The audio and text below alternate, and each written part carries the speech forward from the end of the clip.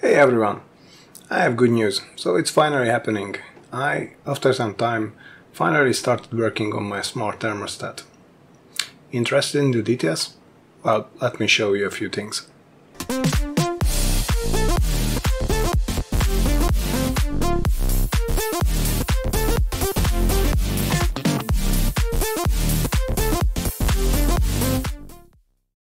Okay, first of all, it's not it. Not yet. You might remember this little device. It's the info box. I used to experiment with it. Basically, it's just a box around the microcontroller and an LCD panel which connects to to my server via REST API, pulls some data and displays it. So how is this related to the smart thermostat? Well, the idea is that uh, I wanted to work out the best controller and display combination. So right now this is just my way of stress testing the controller and the display. So since the thermostat controls your house's heating system, you really don't want lockups, freezes, restarts, loss of memory, I mean the settings and stuff like that. So this is just an easy way for stress testing. It's been going this way for a couple of days now and it looks good. Oh, and um, if you have seen my last video, you probably know that this is not the original info box. Instead, this is now, let's say, version 2.0, where the actual microcontroller is an ESP32 based board.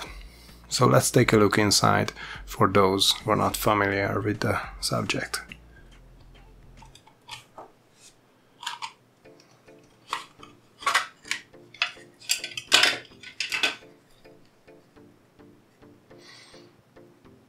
Okay, so this is it basically.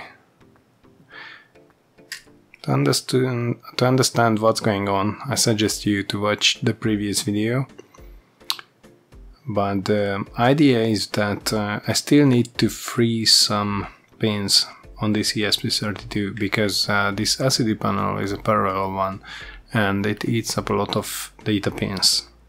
Luckily for me it has this uh, SD card slot which I don't really need. However, the fact that I don't need it also means that uh, some of the pins can be freed up. So I will need to do some modifications to have these GPIO pins on the microcontroller board utilized for the actual thermostat functionality and I will just ignore the SD card. Okay, so besides this, what else do I need? Well, this is a prototype um, smart thermostat, which means that it will just control a single uh, single input for for heating it's either on and off on or off depending on the temperature and some other stuff I will talk about later so for that control you obviously need a relay. Yeah cool. About the temperature you will need a sensor. Now I didn't really want to use the usual DHT11 or DHT22 sensor but uh, instead I wanted to go with something more serious. And this is um, BME 380 which is uh, pretty much industrial grade compared to the other two.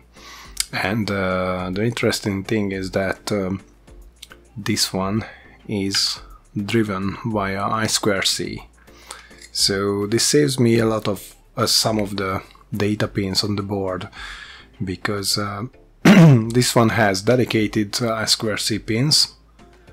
And uh, those are not used up by the LCD board or LCD panel. So all the pins I will free up via getting rid of the SD card reader uh, will be able I will be able to use for other purposes. And by other purposes, I mean these.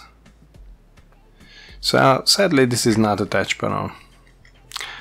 Uh, it's a trade-off, yes, because um, it has some nice resolution, nice colors. I can display a lot of data on it because of the nice resolution and size. But the trade-off is that it doesn't have touch functionality. So I will need some control buttons. It's okay, I guess. I mean, for first prototype. So the extra pins will be used for connecting these and controlling the whole thing. Okay, uh, now the next question is what makes it smart? So obviously it will utilize Wi-Fi, MQTT and stuff like that to connect to Home Assistant. So it won't just work based on temperature, you will be able to turn on and off the heating manually via your Home Assistant UI or whatever MQTT capable device you are using. Actually, I'm thinking about integrating it with Amazon Echo. Ah, uh, it's a long shot. We will see. Um, to be honest, I'm not sure whether I should trust it or not trust it. I mean, I trust the Echoes in general, but uh, well, it's still a heating system. It can misunderstand commands and stuff like that. Anyway, we will see. I just let that idea float for a while. But the real smart part is that uh, I want to actually use the data um, via machine learning to train the thermostat to make decisions or at least suggestions on its own. And for that data, I also plan to utilize presence detection namely movement sensors. So just a use case. After some time, the thermostat should learn that, for example, in the morning everyone leaves. The kids go to the kindergarten, um, my wives go shopping, and I go to work. So why should we have the heating running? However, depending on outside temperature, which is reported by weather station and some other factors. Machine learning could help here to come up with real smart solution. And yeah, that's the long-term goal. For that, I plan to use um, custom backend code I implement in Java and Elasticsearch for storing an amount of a nice, nice amount of sensor data coming from the weather station, coming from presence detection sensors, I mean the movement sensors, and stuff like that. Okay, so that's the idea. And uh, how will I proceed? Well, first I need to have this assembled. Then, obviously, I need a firmware.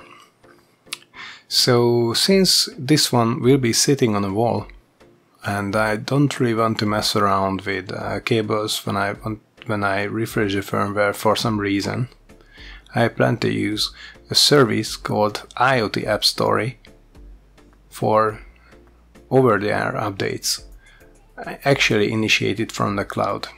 This is a cloud service um, th that uh, is uh, I would say a project of uh, Andreas Spiess, Spiess, sorry, I still can't pronounce his name. You know, the guy with the Swiss accent. And uh, another guy who was previously unknown to me, uh, his name is Ono Dirk Zwager or Zwager, sorry again. Yeah, sorry if I can't pronounce it right. Okay, so they have this service and uh, I was also I was always interested try, in uh, trying it, so why not?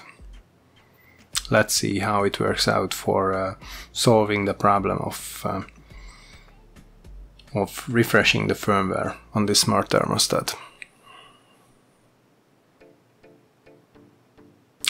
Okay, about the videos. Well, uh, I don't want to make this a long series. I mean, I have pretty much the idea in my head already. So next video should be about hardware and Arduino code. And the video after that should be about the backend.